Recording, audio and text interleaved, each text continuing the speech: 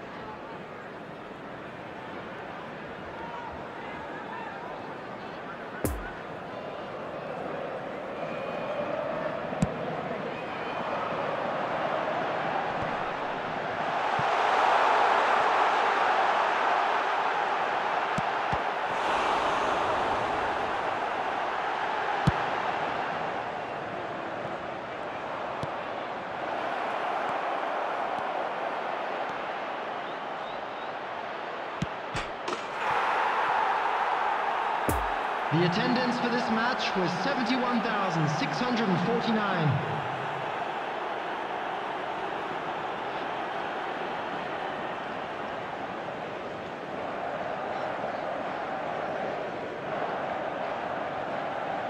The goal scorer for Paris Saint-Germain after 60 minutes is